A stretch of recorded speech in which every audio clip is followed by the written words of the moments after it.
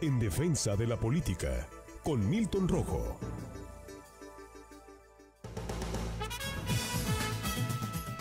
Milton, ¿cómo estás? Buenos días. Buenos días, Luis. Buenos días, amigos del auditorio. ¿De qué nos vas a hablar en esta mañana? De silenciar al poder. Escuchamos. Las plataformas tecnológicas como Twitter, Facebook y recientemente YouTube silenciaron al presidente Donald Trump debido a los mensajes de alto contenido de polarización social, así como carentes de verdad, que él estaba enviando eh, desde sus diferentes cuentas. Eh, recordemos que las televisoras norteamericanas censuraron el día de su discurso al dar afirmaciones sin comprobar cuando las elecciones con el presidente electo Joe Biden. Son estas plataformas las que están poniendo un alto a la desmesura que desborda el presidente Trump en estos últimos días en la Casa Blanca y obvio ya que su gabinete lo está abandonando.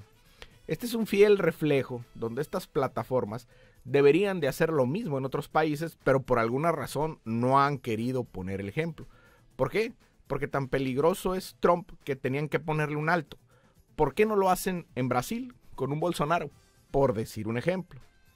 El acto de silenciar al poderoso por parte de otros poderosos, los dueños de las plataformas digitales, abre otro capítulo en el libro de la ciberdemocracia o como el Big Data reconfigura y encausa a la democracia. Es como si estos grandes servidores informáticos moldearan a la democracia.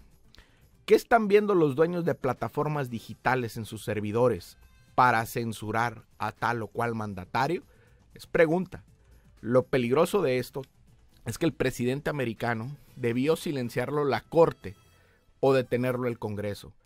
Pero quien lo silenció, quien lo paró, fueron Twitter, Facebook y YouTube. En este 2021, ¿esas plataformas silenciarán la mañanera? Ya que el consejero presidente del INE, Lorenzo Córdoba, ya anunció que las mañaneras deberían de dejar de transmitirse durante el proceso electoral. El presidente hará, el presidente López Obrador hará lo que mejor le parezca. Y si no es un peligro para los dueños de esas plataformas, estos no se volverán en paladines éticos a menos que afecten sus intereses. Estamos ante el peligro de los grandes silenciadores, que por primera vez silenciaron a un patán que debía de ser silenciado, como Donald Trump, pero eso les abre la puerta para que por intereses y no por ética puedan silenciar a cualquier poderoso que no les convenga. Por lo pronto, ya se erigieron legítimamente en los que callaron a Donald Trump, y eso el mundo lo aplaude. ¿A quién más callarán Twitter, Facebook y YouTube? Ahí está el peligro de la democracia, que al usar datos encaucen, moldeen preferencias y callen a quien no les convenga.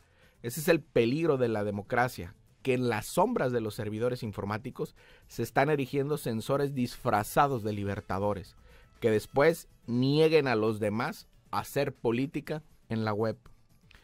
Es el poder de los datos. Si no cree, revise sus términos de WhatsApp y vea la inminente migración a Telegram. Aún así, los datos es lo que les da poder.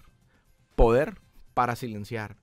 El poder invisible que silencia al poder establecido. Ese es el más poderoso y el más peligroso.